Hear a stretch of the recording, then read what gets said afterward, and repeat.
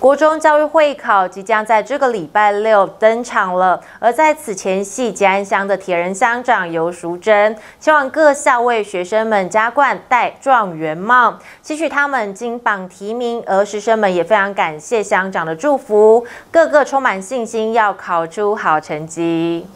国中教育会考即将在这个星期六日登场，在此前夕，吉安乡铁人乡长尤淑珍前往各个学校为同学们加冠戴状元帽，期许金榜题名。谢谢家长的育成，谢谢师长的用心，孩子们加油！在人生的会考上面来奠定自己学习的成绩，也来进行人生不同阶段的考验以及学习。我相信这是一个很特别的感觉，也是人生成长必须历练的一个经验。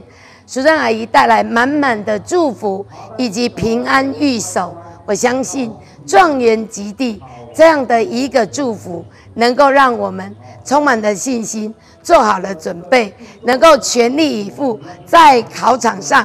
发光发热，也希望我们的 A A A，你是我的宝贝，能够创造了无限的 A 加加，在自己的生命学习旅程里面带来不一样的精彩。孩子们加油！师长们感谢乡长的祝福。孩子们个个士气高昂，充满信心，要考出好成绩。而各个学校也发挥了创意，设计多元的祈福仪式，并且制赠了幸运吉祥物。学长们也提醒学弟妹，在今天晚上一定要睡饱，明天早上不要乱吃东西。大家集中精神，看清楚题目，仔细作答，一定要坚持到终身理想。期盼大家能够考出理想的好成绩。这里会吉安乡报道。